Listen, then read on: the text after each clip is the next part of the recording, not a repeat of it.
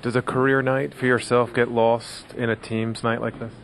Of course it does. You know, I would, I'll, I'll trade that for a win anytime.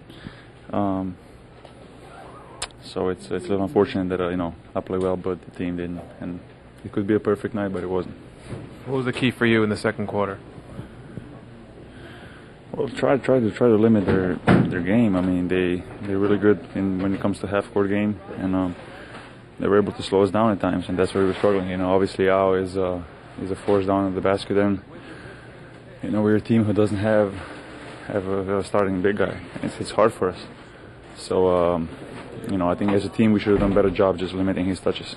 What about yourself? You seemed to give the team a spark there. Well, why were you so hot so early? Well, that's, that's my job this year. You know, I'm trying to come off the bench and um, and uh, and you know do, make a difference. Um, I think that I did that pretty well tonight, but uh, obviously it was not enough to uh, to turn the game around. How did RJ look to you? Well, he's a little rusty, but uh, you know, he, I just talked to him after the game, and he does he feels like he is in good shape. So I think it's not going to take him long to to get back to where he was.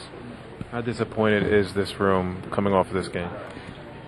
Um, well, it is disappointing, but uh, we, we cannot we cannot feel bad about ourselves, especially not now. You know, the games we're going to lose, we're going to have to put them behind and, and look forward.